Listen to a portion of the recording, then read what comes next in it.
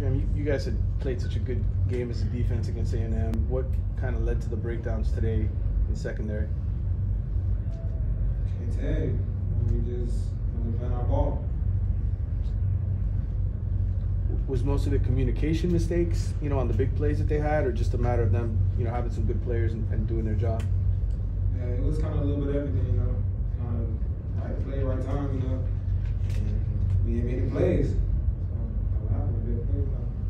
I guess obviously very disappointing game for you guys, but uh, what was just the mood in the locker room? The players' mood, the coaches' mood. after that?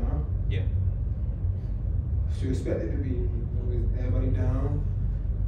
She she never lost, but hey, Middle Tennessee came to play, and they beat us. Mario mentioned that you know guys need to step up as leaders now. You know, in this kind of after a tough loss like that. I mean, who do you think are the guys to kind of do that? Is it upperclassmen? You know, younger guys.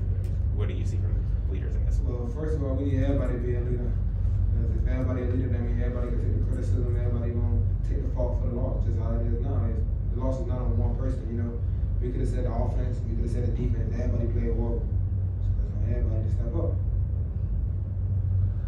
Going into the bye week, now that this one is behind, you, what are you looking to actually accomplish during the bye week?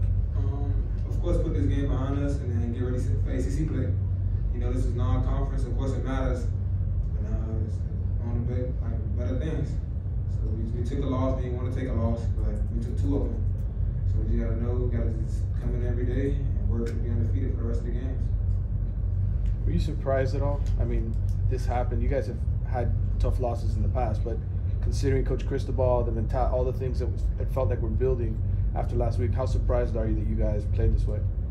Um, of course, it's surprising, you know. But at the same time, they came to play and they outplayed us in every aspect of the game. So. Any other questions? You guys are 500 now. Does that put any more pressure going into the North Carolina game to get back in the positive? Um, I don't think it brings no pressure. Like we already have pressure, even if we won lost this game or won the other games. You know, either way, you gonna still have pressure. Stay undefeated, want to win the game. You know, we want to come out with winning every game. So